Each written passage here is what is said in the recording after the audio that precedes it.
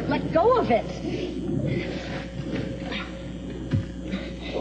I had a feeling about it. Now let's go.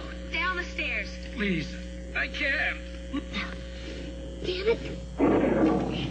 Hey, what's going on here? Oh, This is a hospital zone. We can't have this kind of noise going on. I know. Uh, I, I'm sorry. This man is sick. He must have had a heart attack or something. I was just trying to help him, that's all. Look, you better call somebody and, and get him to the hospital.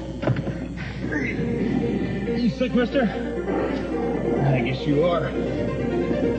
Okay, I'm gonna get some help. I'm gonna get you inside.